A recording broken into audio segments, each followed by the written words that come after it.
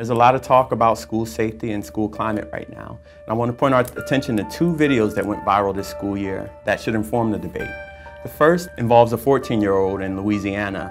A student goes to the office and is requesting that his grandmother come pick him up. The school responds with the police officer coming in behind the student several times larger than the student and by the end of the incident you see the student wrestled to the ground, punched several times, lifted off the ground and slammed on the ground again.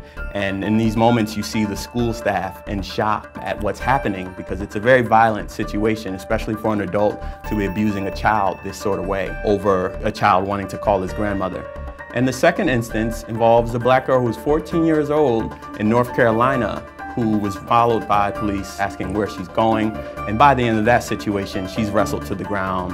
Her arms are put in a bar behind her and she's crying and screaming for her parents. So both of these instances illustrate what can happen when we have too many police in schools.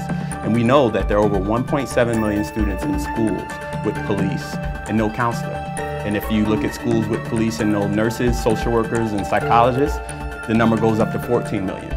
And this is what we mean by school to prison pipeline. Schools are equipped in ways that will lead to instances and, and behaviors being responded to in that manner. Over 90% of schools are actually not meeting the recommended ratios. There should be one counselor for every 250 students, and nationally it's almost twice as much. You know, there's one counselor for every 444 students. So it's really important that we invest in schools and provide resources so that student behavior and student needs are addressed differently.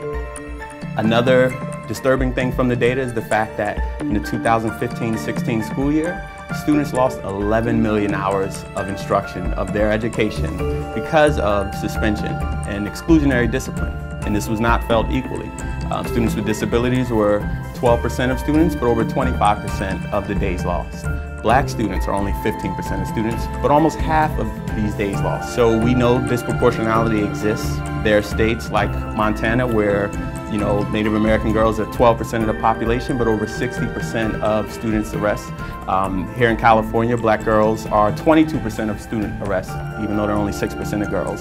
So the Federal Commission on School Safety blatantly ignored these clear and egregious disparities that are plaguing our children and that contribute to both the school to prison pipeline and the dual education system because America still is in a system where students of color are receiving a different education.